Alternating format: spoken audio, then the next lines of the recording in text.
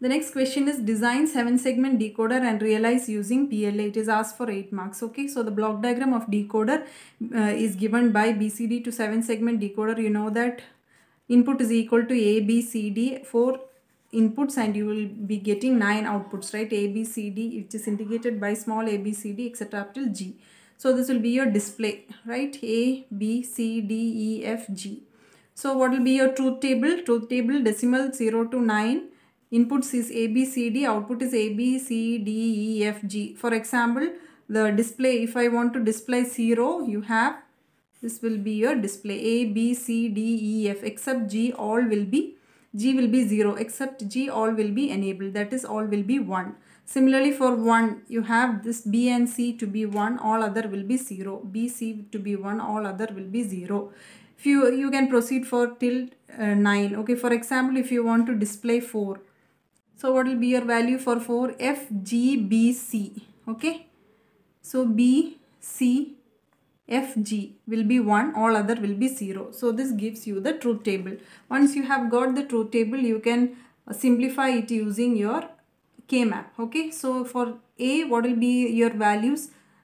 1 and 4 is 0. All other is equal to 1. So you can simplify is using your K-map for A, A, B, C, D. 0, 0, 0, 1, 1, 1, 1, 0, 0, 0, 0, 1, 1, 1, 1, 0.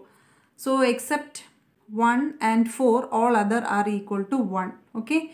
Which is not used. 10 11 12 13 14 15 which is not used can be taken as your don't care okay? So you can simplify it. You are getting a is equal to ac for example this can be grouped together these can be grouped together. Here you have one here also you have one. So how can you group this one? Adjacent all four ones can be grouped together. Okay?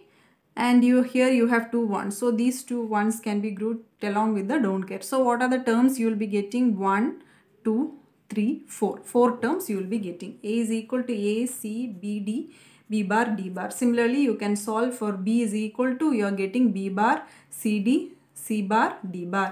C is equal to b c bar plus d.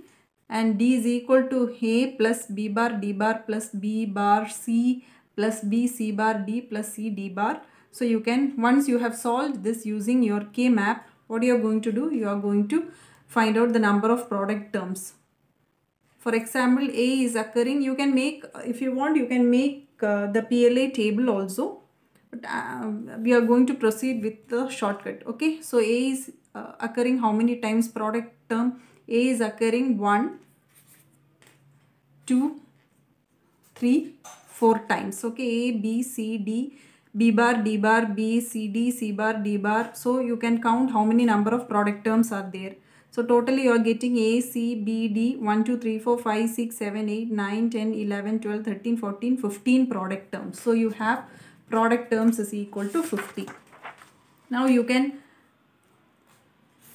you can just draw your PLA diagram. So you have the inputs as A, B, C, D, A bar, A, A bar, B, B bar, C, C bar and D, D bar. You have your and PLA is formed by means of array of AND gates and your array of OR gates, right? So these will be your inputs and these are going to be your outputs, array of OR gates, A, B, C, D, etc. up till G. So here your uh, cross mark signifies that both your AND gate and OR gate are programmable. Okay, programmable. So for example, mm, A is occurring B is your next product term, C is your third, D is your fourth. For example, if I take B C bar, what will be your value here? It is B and C bar. Okay, this is going to be a C bar. So this is C bar, B bar, A bar, D bar complement. So it will be, you will be getting P1 to P15 and gate or which signifies or which corresponds to that of your product terms and now the product terms can be connected together. For example, A is equal to output A is equal to A plus C plus B D plus B bar D bar. So A plus C plus BD, where is your BD? BD plus B bar D bar. Similarly, you can fill till G. This is your output diagram of your 7 segment display using PLA.